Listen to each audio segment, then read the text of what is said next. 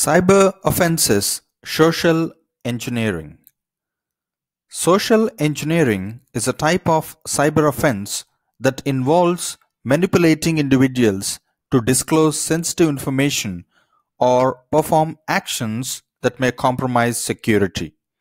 Unlike traditional hacking methods that focus on exploiting technical vulnerabilities, social engineering exploits human psychology. Here are some common social engineering techniques. Phishing. This involves sending deceptive emails, messages, or websites that appear to be from a trustworthy source to trick individuals into revealing sensitive information like usernames, passwords, or financial details. Pretexting. Attackers create a fabricated scenario to obtain information from the target. They might impersonate someone in authority, such as a bank official or IT support, to gain the victim's trust and extract sensitive information. Baiting Similar to phishing, baiting involves offering something enticing. Enticing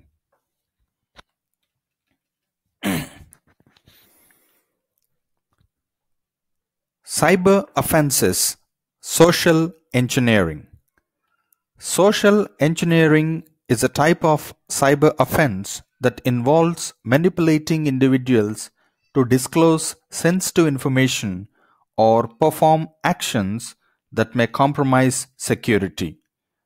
Unlike traditional hacking methods that focus on exploiting technical vulnerabilities, social engineering exploits human psychology. Here are some common social engineering techniques. Phishing. This involves sending deceptive emails, messages, or websites that appear to be from a trustworthy source to trick individuals into revealing sensitive information like usernames, passwords, or financial details. Pretexting Attackers create a fabricated scenario to obtain information from the target. They might impersonate someone in authority, such as a bank official or IT support, to gain the victim's trust and extract sensitive information.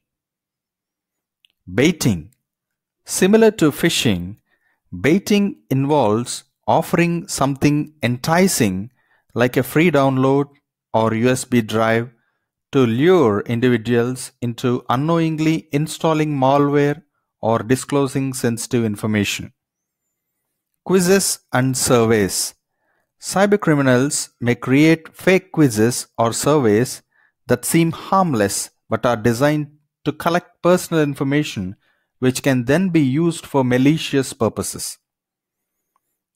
Impersonation Attackers may pose as a trusted individual such as a co-worker or family member to manipulate targets into revealing sensitive information or performing actions they wouldn't normally do.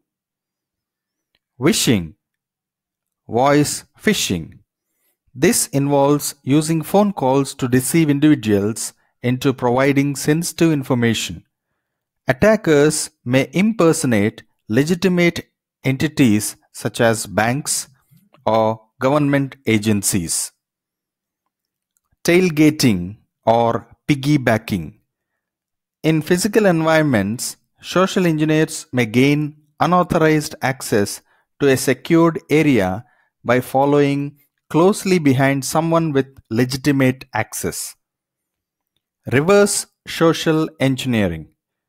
In this scenario, the attacker manipulates the target into approaching them. The attacker plays the role of someone in need of assistance and the victim willingly provides sensitive information or access. To defend against social engineering attacks, Individuals and organizations should be aware of these tactics and implement security measures such as security awareness training. educating individuals about the risks of social engineering and providing guidelines on how to identify and respond to such attacks. Multi-factor authentication adding an extra layer of security by requiring additional verification steps beyond just a username and password. Regular security audits conducting periodic assessments of security policies, procedures, and controls to identify and address vulnerabilities. Verification protocols establishing clear procedures for verifying the identity of individuals, especially in situations where sensitive information or access is involved. Cybersecurity policies implementing and enforcing strong cybersecurity policies that address social engineering risks and provide guidelines for safe online behavior. Thanks for watching.